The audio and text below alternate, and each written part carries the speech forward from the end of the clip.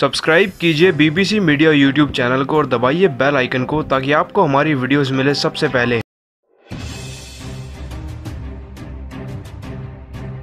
दोस्तों, अगर आप भी चाहते हैं कि भारतीय टीम वर्ल्ड कप जीत कर ही लौटे तो वीडियो को लाइक करना नहीं भूलिएगा। तो वर्ल्ड कप 2019 का रोमांच अब अपने बढ़ते मुकाबलों के साथ दोगुना होता जा रहा है। खास तौर पर बात कर ली जाए भारतीय क्रिकेट टीम की तो आपको बता दें कि हाल ही में भारतीय क्रिकेट टीम अंतर्राष्ट्रीय ओडीआई क्रिकेट में नंबर वन टीम बन चुकी है। वर्ल्ड कप टूर्नामेंट में भी भारतीय टीम कुछ ज़्यादा पीछे नहीं। पाँच में से चार मुकाबलों के जीत के साथ भारतीय टीम ने पॉइंट टेबल में अपनी जगह तीसरे नंबर पर पूरी तरीके से पक्की करी हुई है। साथ ही दोस्तों, आपको बता दें कि एक मुकाबला न्यूजीलैंड की टीम के खिलाफ खेला जाना था, लेकिन उसका फिर कोई नतीजा नहीं निकल पाया। वरना भारतीय क्रिकेट टीम अपने पाँच में से पाँच मुकाबले ही जीत जाती। आपको बता दें कि भारतीय टीम को अपना अगला मुकाबला वेस्ट इंडीज की टीम के खिलाफ 27 तारीख को मैनचेस्टर के मैदान में खेला जाना है। यह वही मैदान है दोस्तों, जहाँ पे हाल ही में भारतीय क्रिकेट टीम ने पाकिस्तान की टीम को पछाड़ा था। वेस्ट इंडीज की टीम की बात कर ली जाए तो इस बार के वर्ल्ड कप में उनकी शुरुआत तो जोरदार रही थी, लेकिन फिर प्रदर्शन बाद में बिगड़ गया। साथ ही अब इस मुकाबले के लिए तो भारतीय टीम के लिए पहले से ही दो ऐसी बड़ी खुशखबरी सामने आ रही है, जिन्होंने भारतीय क्रिकेट टीम की। इस मुकाबले में जीत को लगभग तय कर दिया है। दोस्तों, अगर सबसे पहली खुशखबरी की बात कर ली जाए तो यह तो वेस्ट इंडीज की टीम की तरफ़ से आ रही है। आपको बता दें कि वेस्ट इंडीज की टीम के अब तक के सबसे तगड़े खिलाड़ी और आईपीएल 2019 में भी धमाल मचाने वाले खिलाड़ी आंद्रे रसल चोटिल हो चुके हैं। दोस्तों, रसल को कोई छोटी मोटी चोट नहीं लगी। आपको बता दें कि रसल को इतनी बड़ी चोट लगी है कि अब वर्ल्ड कप के टूर्नामेंट में आप सभी को आंद्रे रसल तो खेलते हुए ही नहीं दिखेंगे। और दोस्तों, कहीं ना कहीं आंद्रे रसल का ना खेलना भारतीय टीम के लिए एक बहुत बड़ी खुशखबरी है। हमने आईपीएल 2019 के टूर्नामेंट में देखा किस तरीके से रसल अपने बल्ले से हारे हुए मुकाबले में भी कुछ ऐसा प्रदर्शन करके दिखाते थे कि उनकी टीम जीत जाती थी। साथ ही इस बार के वर्ल्ड कप में भी रसल का बल्ला खूब चला और वह गेंदबाजी में भी कहर ढा रहे थे। लेकिन अब भारतीय टीम को रसल के बाहर होने से एक बड़ी राहत मिली है। दोस्तों, अगर दूसरी खुशखबरी की बात कर ली जाए तो वह भारतीय टीम की गेंदबाजी के डिपार्टमेंट में। आपको बता दें पाकिस्तान की टीम के खिलाफ खेले जा रहे मुकाबले में भुवनेश्वर कुमार बुरी तरीके ऐसी चोटिल हो गए थे, जिसके बाद मोहम्मद शमी को भारतीय टीम में खेलने का मौका दिया गया और वह इस मौके पर खड़े भी उतरे। दोस्तों, मोहम्मद शमी ने अपने पिछले मुकाबले में हैट्रिक लेकर भारतीय टीम को अंतिम ओवर में जिताया, जो कि दर्शाता है कि वह कितने काबिल खिलाड़ी और उन्हें वर्ल्ड कप के बाकी मुकाबलों में भी खेलने के मौके दिए जाने चाहिए। परंतु भुवनेश्वर कुमार अब पूरी तरीके ऐसी स्वस्थ हो चुके हैं और भारतीय टीम के पास एक और ऐसा विकल्प बन गया है, जिससे वह गेंदबाजी के डिपार्टमेंट में तो वेस्ट इंडीज की टीम के परखच्चे उड़ाकर तो रख ही सकते हैं। लेकिन दोस्तों, आप सभी को क्या लगता है, शानदार फॉर्म में चल रहे मोहम्मद शमी को खेलने की जगह देनी चाहिए या फिर भुवनेश्वर कुमार को? इस बात का जवाब कमेंट सेक्शन में ज़रूर दीजिएगा। और परंतु दोस्तों, इस वीडियो में हम आज खास तौर पर बात करने वाले हैं भारतीय टीम के तेज तर्रार गेंदबाजों की, जो कि पूरे विश्व में मशहूर हैं। हम सभी जानते हैं कि तेज गेंदबाजी काफ़ी लंबे सालों से भारतीय क्रिकेट टीम के लिए कमज़ोर पहलू रहा है। लेकिन जब से टीम में जसप्रीत बुमराह, मोहम्मद शमी व भुवनेश्वर कुमार जैसे डेथ ओवर स्पेशलिस्ट आ चुके हैं, तब से भारतीय टीम का तेज गेंदबाजी में रुतबा इतना ज़्यादा हो गया है की शायद विरोधी टीमें तो ज़्यादा देर तक टिक भी नहीं पाती इन गेंदबाजों के सामने। और भारतीय टीम के आज इन्हीं तीन तेज तर्रार गेंदबाजों के आंकड़े लेकर हम आपके सामने आ चुके हैं। आपको बता दें कि तीनों ही खिलाड़ियों ने अपने उनचास उनचास मुकाबले खेल लिए हैं। ऐसे में आप सभी के लिए यह जानना काफ़ी ज़्यादा ज़रूरी है कि कौन सा गेंदबाज किससे कितना बेहतर है। तो शुरुआत करते हैं भुवनेश्वर कुमार ऐसी आपको बता दें की अपने करियर के पहले उनचास मुकाबलों में भुवनेश्वर कुमार ने चौतीस की औसत ऐसी तिरपन विकेट अपने नाम किए। खिलाड़ी दुनिया भर में डेथ ओवर स्पेशलिस्ट के नाम से भी जाना जाता है। साथ ही भुवनेश्वर कुमार की बेस्ट परफॉर्मेंस रही है आठ रन देकर चार विकेट लेना, जो की अपने आप में ही बड़ी बात है और इस खिलाड़ी की काबिलियत को भी दर्शाता है। अब दोस्तों बात कर लेते हैं दुनिया के नंबर एक गेंदबाज जसप्रीत बुमराह के बारे में। इस खिलाड़ी की तो जितनी भी तारीफ़ की जाए, उतनी कम है। साथ ही विदेशी टीम का चाहे कोई भी खिलाड़ी हो, जसप्रीत बुमराह के आगे खेलने में उनके पैर डगमगा ही जाते हैं। अगर दोस्तों, जसप्रीत बुमराह के पहले उनचास मुकाबलों की बात कर ली जाए तो आपको बता दें कि महज 22 की औसत देकर जसप्रीत बुमराह ने अपने पहले उनचास मुकाबलों में पिचासी विकेट दर्ज कर लिए हैं। साथ ही बुमराह का अब तक अपना बेस्ट परफॉर्मेंस रही है, सत्ताईस रन देकर पाँच विकेट ले लेना। दोस्तों, सिर्फ़ यही एक अकेला आंकड़ा काफ़ी है बताने के लिए की आखिरकार क्यों जसप्रीत बुमराह को इस समय दुनिया का नंबर एक तेज गेंदबाज माना जाता है? लेकिन दोस्तों, जरा रुकिए। अभी मोहम्मद शमी के आंकड़े आने बाकी हैं। आपको बता दें कि भारत के तूफानी गेंदबाज के नाम से जाने जाने वाले मोहम्मद शमी ने अपने करियर के पहले उनचास मुकाबलों में 24 की शानदार औसत देकर इक्यानवे व सबसे ज़्यादा विकेट अपने नाम किए हैं। साथ ही मोहम्मद शमी का अब तक का बेस्ट प्रदर्शन रहा है, पैंतीस रन देकर चार विकेट अपने नाम करना। दोस्तों, उनचास मुकाबले और इक्यानवे विकेट अपने नाम दर्ज करवाने वाला यही आंकड़ा दर्शाता है की मोहम्मद शमी कितने ज़्यादा अनुभवी और तेज तर्रार गेंदबाज है। सिर्फ़ इतना ही नहीं, दोस्तों, जब हाल ही में मोहम्मद शमी को वर्ल्ड कप 2019 में खेलने का अपना पहला मौका दिया गया तो उन्होंने अपने पहले ही मुकाबले में वर्ल्ड कप 2019 की पहली हैट्रिक ले डाली और भारतीय टीम को एक हारे हुए मुकाबलों में भी जिता दी। खैर, दोस्तों, यह बता पाना काफ़ी मुश्किल है की तीनों ही गेंदबाज में से सर्वश्रेष्ठ कौन है, लेकिन आप सभी को क्या लगता है? जसप्रीत बुमराह, मोहम्मद शमी व भुवनेश्वर कुमार में से कौन सबसे बेस्ट गेंदबाज है? इस बात का जवाब कमेंट सेक्शन में ज़रूर दीजिएगा। दोस्तों, अब लगभग आधा वर्ल्ड कप का टूर्नामेंट खत्म हो चुका है, साथ ही सबके सामने अब वह मज़बूत टीमें आ चुकी हैं जो कि सेमीफाइनल में अपनी जगह बनाने के लिए पूरी तरीके से तैयार हैं। आपको बता दें कि इन टीमों में नाम शुमार है ऑस्ट्रेलिया, इंग्लैंड, न्यूजीलैंड और इंडिया का। चारों ही टीमें अब तक विश्व कप में काफ़ी अच्छा प्रदर्शन करती आई है। साथ ही आपको यह भी बता दें की न्यूजीलैंड की टीम ने अब तक एक भी मुकाबला नहीं आ रहा है और वह पहले पोजीशन पर अपनी जगह को बरकरार रखे हुए है। दूसरे नंबर पर आती है ऑस्ट्रेलिया की टीम, जिसने भारत के खिलाफ एक मुकाबला हारा था और छह में से पाँच मुकाबले जीतकर कुछ इसी तरीके से ऑस्ट्रेलिया की टीम भी दूसरे नंबर पर मौजूद है। दोस्तों, अब अगर बात कर ली जाए भारतीय क्रिकेट टीम की तो पाँच में से चार मुकाबले जीतकर भारतीय टीम ने भी अपनी जगह तीन नंबर पर पक्की करी हुई है। एक मुकाबले का न्यूजीलैंड की टीम के खिलाफ कोई नतीजा नहीं निकल पाया था, जिसके चलते भारतीय टीम तीसरे पायदान पर है। परंतु अब भारतीय टीम के पास अपनी पोजीशन को और बेहतर करने का एक और बड़ा मौका आ चुका है। आपको बता दें कि 27 जून को भारतीय टीम अब वेस्ट इंडीज की टीम से मैनचेस्टर के मैदान में भिड़ने वाली है। यह वही मैदान है, जहाँ पे हाल ही में भारतीय क्रिकेट टीम ने पाकिस्तान को पराजित किया था। साथ ही दोस्तों, अगर वेस्ट इंडीज की टीम की बात करी जाए पॉइंट टेबल को देखकर तो यह टीम तो आठवें पायदान पर है। छह में से केवल एक ही मुकाबला जीत पाई है। लेकिन इस बात को भी नहीं नकारा जा सकता कि वेस्ट इंडीज की टीम के पास भी एक से बढ़कर एक खिलाड़ी मौजूद है। आंद्रे रसल से लेकर कार्लोस ब्रेथवेट और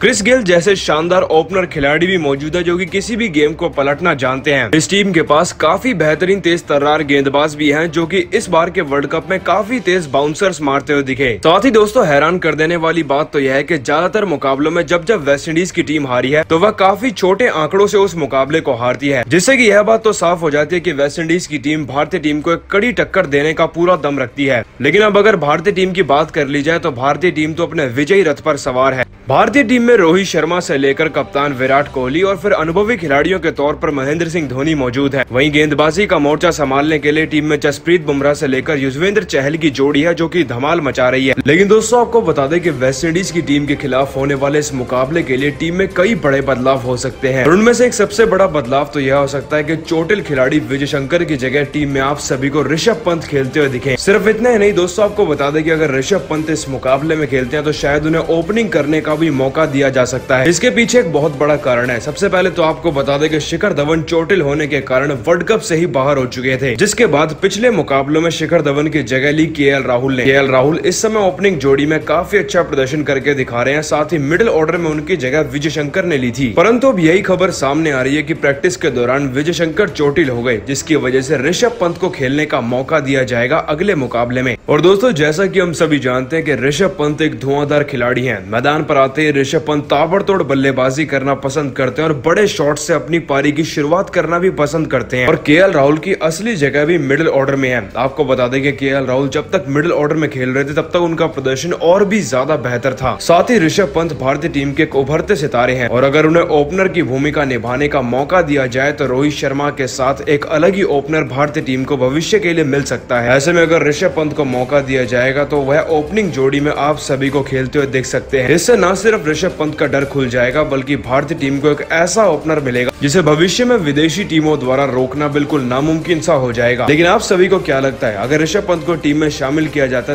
तो क्या उन्हें ओपनिंग करने के लिए रोहित शर्मा के साथ मौका दिया जाना चाहिए या फिर नहीं? इस बात का जवाब कमेंट सेक्शन में ज़रूर दीजिए लेकिन दोस्तों, इन सब खिलाड़ियों के होने के बावजूद, भारतीय क्रिकेट टीम में वेस्ट इंडीज के खिलाफ होने वाले इस मुकाबले के लिए दो बड़े बदलाव हो सकते हैं। दोस्तों, आपको बता दें कि विजय शंकर उतनी अच्छी फॉर्म में तो नहीं चल रहे। साथ ही हाल ही में यह भी खबर आई है कि विजय शंकर प्रैक्टिस करते दौरान थोड़े चोटिल भी हो गए थे। और जब इस समय ऋषभ पंत भारतीय टीम का हिस्सा है तो इस बात के आसार जताए जा रहे हैं कि ऋषभ पंत को खेलने का मौका दिया जा सकता है। ऋषभ पंत हाल ही में भारतीय टीम के साथ प्रैक्टिस भी करते हुए दिखे, जो कि इस बात को दर्शाता है कि ऋषभ पंत अब टीम में खेलने के लिए तैयार है। दोस्तों, दूसरा बड़ा बदलाव आप सभी को देखने को मिलेगा। केदार जाधव की जगह रविंद्र जडेजा के रूप में। दोस्तों, वर्ल्ड कप 2019 में अब तक केदार जाधव को जितने भी मौके दिए हैं, हर बार उन्होंने काफ़ी ज़्यादा अच्छा प्रदर्शन तो नहीं करके दिखाया। और जब जब मैदान में रविंद्र जडेजा को एक अतिरिक्त फील्डर के तौर पर बुलाया गया, तब तब उन्होंने अपनी जान झोंक कर फील्डिंग करी है। ऐसे में कहीं ना कहीं अब वेस्ट इंडीज की टीम के खिलाफ अब जडेजा को टीम में खेलने का मौका दिया जा सकता है। दोस्तों, यह थे वह दो बड़े बदलाव जो की भारतीय टीम में होंगे। हालाँकि अभी इस बात पर कोई खबर नहीं आई है की आखिरकार मोहम्मद शमी और भुवनेश्वर कुमार में से कौन आप सभी को इस मुकाबले में खेलते हुए दिखेगा। तो चलिए आपको फटाफट से बता देते हैं कि वेस्ट इंडीज की टीम के खिलाफ क्या होगी भारतीय टीम की नई प्लेइंग इलेवन टीम की तरफ़ से हमेशा की तरह ओपनिंग करते हुए दिखेंगे रोहित शर्मा व के राहुल। वहीं मिडिल ऑर्डर को संभालते हुए दिखेंगे कप्तान विराट कोहली, ऋषभ पंत, महेंद्र सिंह धोनी व ऑलराउंडर खिलाड़ी। रविंद्र जडेजा। इसी के साथ टीम में हमेशा की तरह ऑलराउंडर खिलाड़ी के तौर पर मौजूद रहेंगे हार्दिक पांड्या। तो वही स्पिन गेंदबाजी की